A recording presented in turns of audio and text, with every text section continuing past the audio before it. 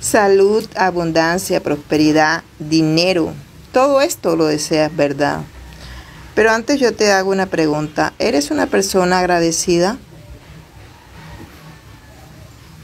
Sí, yo te pregunto porque, bueno, eh, yo he visto muchos casos, bueno, y he visto personas que, bueno, desean tantas cosas, pero, bueno, no son agradecidas con Dios porque lo primero que hacen es levantarse corriendo, que se van para el trabajo o salen a poner el café, a barrer y hacer otras cosas, pero ni por ahí está la presencia de Dios para ellos, ¿verdad? Como también hay tiempo para todo, pero menos para Dios. Tiempo para bailar, tiempo para el novio, tiempo para el chat, tiempo para salir a pasear, tiempo para ver la televisión, pero ¿y el tiempo para Dios dónde está? 15, 20 minutos que tú le dediques. ¿Por qué no sacamos el tiempo para Dios? Dime. Te voy a decir algo, la pieza clave para que te llegue abundancia, prosperidad, dinero y salud a tu vida es que seas agradecido, seas una, una persona que tengas presente a Dios en tu mente y en tu corazón. ¿Ya? Nos olvidamos de Dios y, y aún así queremos que nos vaya bien en la vida. Pues no, fíjate que las cosas no son así. ¿Ya? Primero está Dios, segundo Dios, tercero Dios, cuarto Dios, quinto Dios. Dios está por encima de todos. No te estoy diciendo que cambies de religión, o que lleves la Biblia debajo del brazo o que vayas a misa todos los domingos. No estoy diciendo nada de eso. Simplemente que sepas que hay un Dios, que sepas que tú estás aquí gracias a Dios. Ya.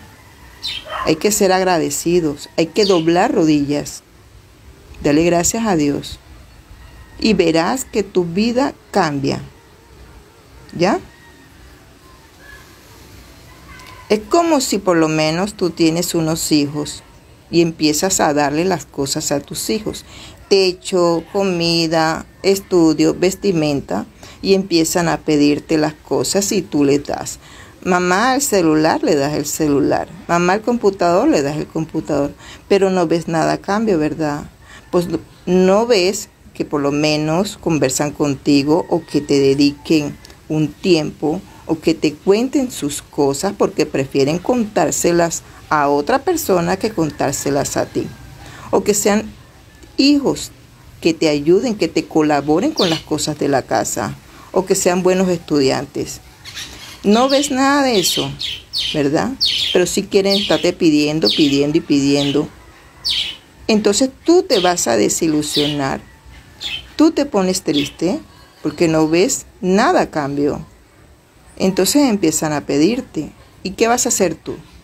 Tú vas a decir, ya yo no voy a ayudarte más porque tú no eres, tú no me agradeces, tú me tienes al olvido. Yo para ti no existo. Bueno, así son las cosas de Dios. Lo mismo, lo mismo. Entonces, si tú quieres que tu vida cambie, si tú quieres ser una persona bendecida, que te llegue la abundancia, la prosperidad, el dinero y muchas otras cosas, dale gracias a Dios. Todos los días levántate y dale gracias a Dios. Gracias Padre por este día. Gracias Padre por la abundancia. Gracias Padre por la prosperidad. Gracias Padre por la protección. Gracias Padre por todo el dinero que viene en camino. Gracias Padre por todo esto. Si tú corazón, yo te aseguro que tu vida cambia, te llegan bendiciones. ¿Listo? Bueno, dale. Chao.